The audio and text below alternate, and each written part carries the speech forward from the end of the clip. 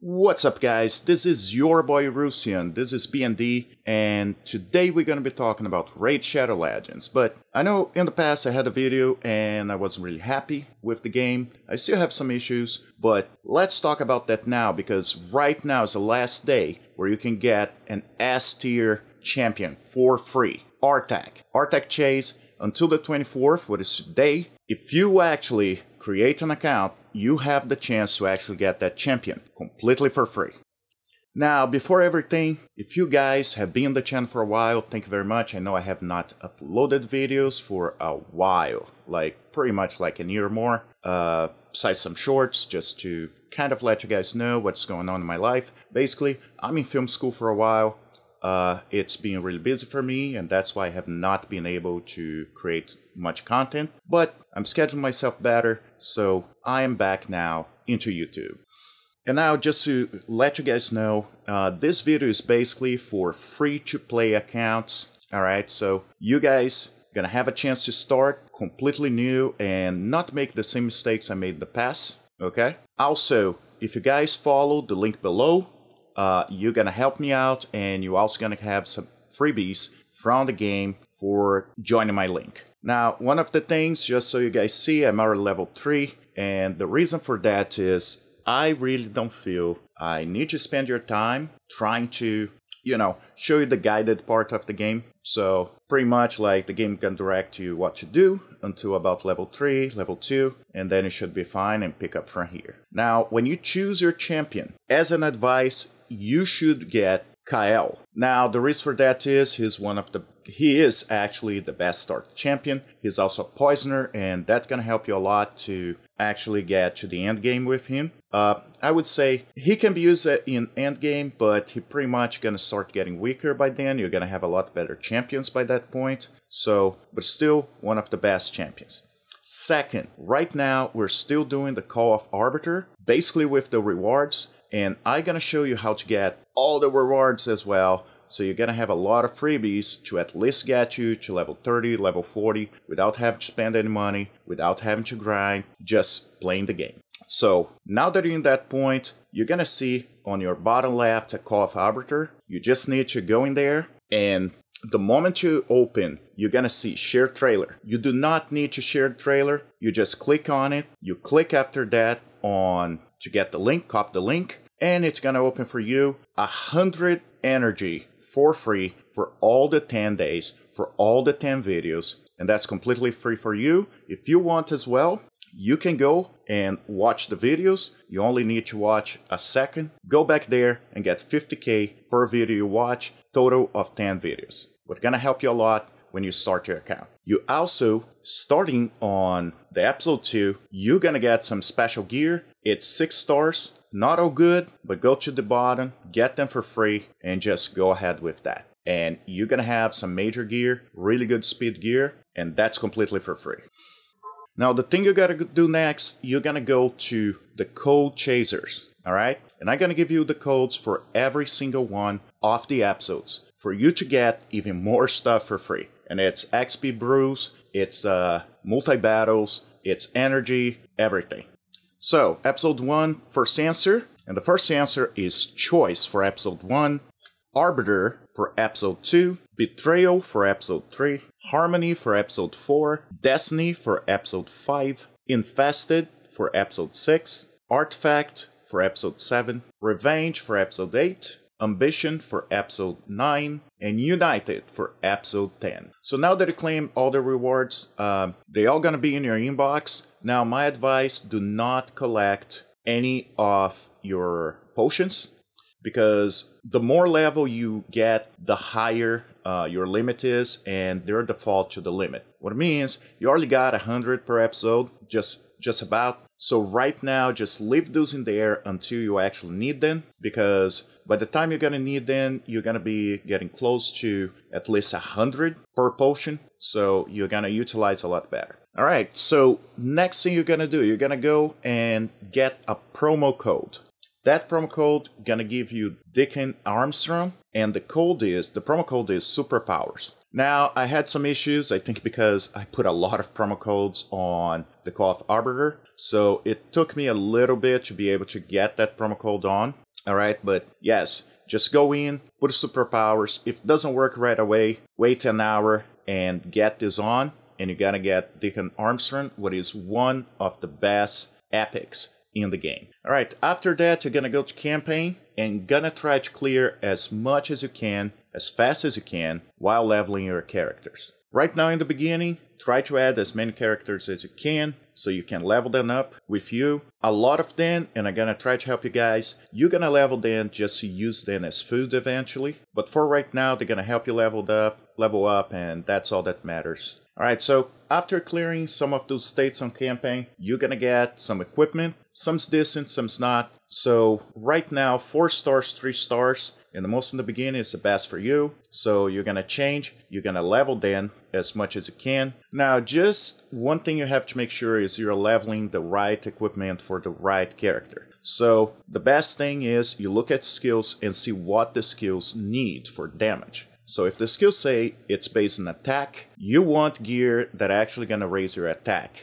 Now when you go to gloves, chest, and boots, you probably don't want regular attack or regular defense, you, what you want is attack percentage, defense percentage. Even though that in the beginning, sometimes percentage gonna be less than if you actually put a straightforward just attack. But you need to think sometimes on the long run. Uh, some of the substats you're looking for are gonna be speed, accuracy, crit damage, and crit rate you most because in the beginning it's very hard for you to get high crit damage and high crit rate.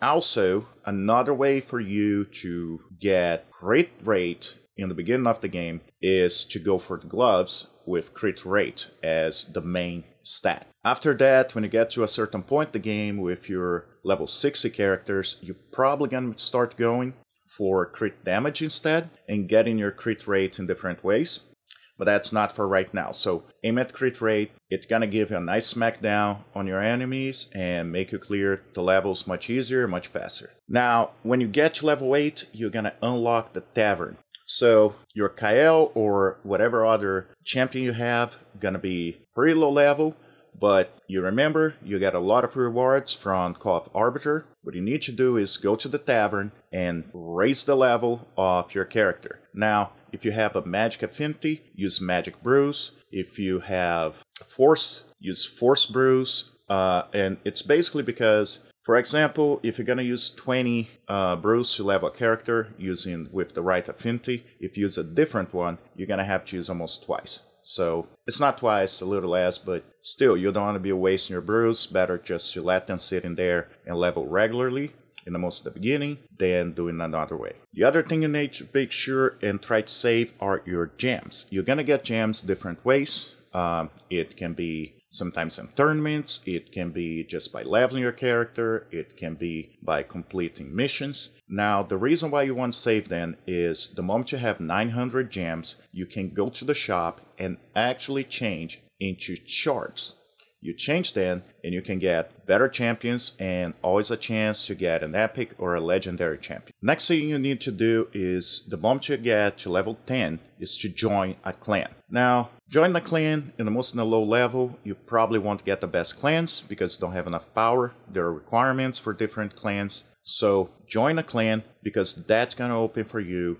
uh, a fight against the Demon Lord, what give you nice rewards, extra gems, and even shards. Also, also, every week or so, or every two weeks, you have clan versus clan, what gives you a lot of rewards. And sometimes you may not be able to contribute as much as other members, but you get all the rewards that are given to your clan. Now, when you get to level 12, you're gonna be able to open Classic Arena. Now, you may not be into PvP as much, I understand, but the thing is, you get your arena, you actually gonna get points to be able to open special affinity, affinity bonuses at the Great Hall. And trust me, most of you are going to the end game, that's the best thing. The most of you get those points when you're in low level because you're gonna have much easier battles. So you want to get affinity bonuses as fast as you can. That's gonna help you a lot during the game. Now, as a rule of thumb, you should start right to left filling up as much as you can. Basically, accuracy is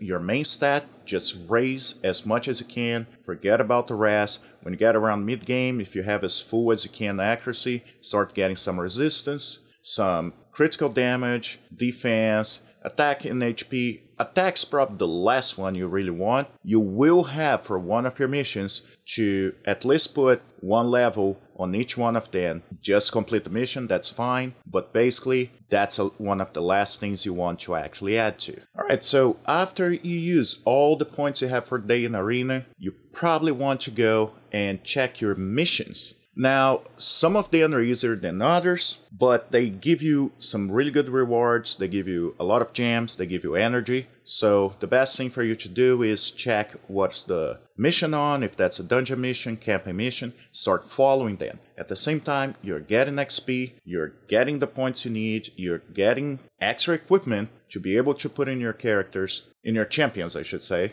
so start trying to complete as many as you can. Some of them have to do with uh, the potion keeps, and that's the reason you want to check in there. So in the first week you play, they're all open. After that, you have one open a day. So you may not be able to complete those missions as fast as you can and not getting the rewards. Now, a lot of people may say do it a different way. In my opinion, that's a great way to actually level in the game and get everything you need. The next thing you need to also take a look, not as important, but it's the challenges. Because sometimes you can complete a challenge at the same time you're completing a mission. Third thing, quests. So quests gonna be pretty easy. Uh, you want to do the daily quests in in you know most in the beginning, the weekly and monthly. Now concentrate the daily quests as long as you're doing them, you're gonna be able to complete the others. And it's basically because after you get five complete daily quests, like complete all the daily quests for the day five times, you actually gonna be able to get a nice shard for free. What also gonna help you to level because you're gonna get better champions and so on. Another thing you need to pay attention, try to check the market every time you have the red dot on because that means it was refreshed. Don't need to refresh automatically. Uh, click on, you're gonna be spending gems, you don't want to do that. Now, rule of thumb, don't open anything below what is opened unless you see something that interests you. Now, I'll tell you right now, equipment 99% of the times can be garbage, can be too expensive, and you can get a lot better. Second, unless you see something like the Armitage or some some of the champions that you really need, they're not worth buying. What you want to take a look, and I would say always buy any type of shards buying there. If you see one of the blue ones, you one of the rare ones, you just you want to spend if that's spend gems to be able to open the slot, spend the gem, buy it, and you're gonna be fine. If that's a green one, I would wait basically because you're gonna have other chances and you're gonna get a lot of them at a certain point. So don't worry about them. Unless you're for sale already open, it's not expensive. Just buy them, it's gonna help you out. Now, one thing I like to do, and I feel it's the best for me, is every time you go to a potion keep, and once you finish one of your missions, uh, try to see how high you can go on them. Even if the mission tells you you just need to clear stage 1, try to clear stage two, three, four until you die, and then move out of there. It's just gonna help you have an idea how far you are, how good your characters are, and everything. Now, when you get to a certain point, the most because the requirements uh, of damage are pretty low, I would say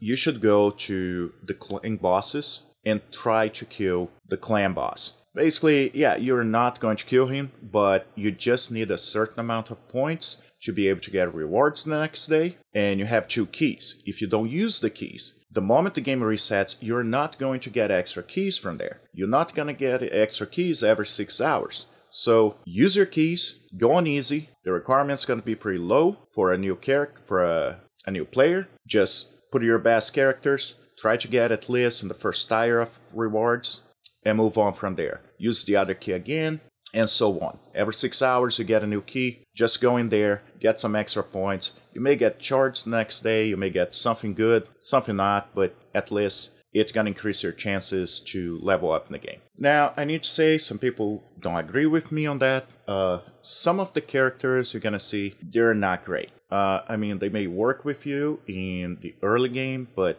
honestly, nowadays, you have a lot of things going on, a lot of tournaments. You may be able to get shards and get better characters, better champions in a very short time. So you don't want to use your books and a lot of that stuff to level a character that you're really not gonna use after the first week or so. So one thing I do if I see any of those characters, I just completely use them as food to be able to get my character into a higher rank and that helps me clear stage much easier. So Kael, for example, I use a couple that I used to save them, but honestly, what they bring to the table is not enough. So I'll use those to actually feed Kael and get him to rank 4. Now my max level gonna be 40 and he can do a lot more damage, uh, he can survive a lot longer, and so on. So take that with a grain of salt. It's up to you if you do that or not, but I don't feel it's bad because you gotta remember you're gonna be spending silvering equipment, leveling equipment for characters that sometimes you're gonna replace them really early. Uh, when you can just survive for a little bit, push, and actually come out on top in the end. Alright guys, so that's pretty much what you want to be doing on day one. And basically, after that, just do as many campaigns as you can. When you get to a certain point, you're dying, you're not actually getting up there, just go to the dungeons, try to get new equipment, check what equipment's available. Lifesteal, great. Dragon is a good one for you guys farm the beginning. Now, the one of the best ones really uh, it's going to be it would be the Fire Knight, but unless you have champions that actually have multiple hits on their uh, as their abilities, you probably don't want to confront him. You may be able in the beginning to get like to the first few levels, but the equipment gonna be just a couple of stars, two, three stars tops, and you really don't want to invest money on that. You want to start investing on four even from the beginning. So there you go. And thank you guys very much. I hope that helped, and I'll be seeing you guys tomorrow for a new video of day 2 of Raid Shadow Legends.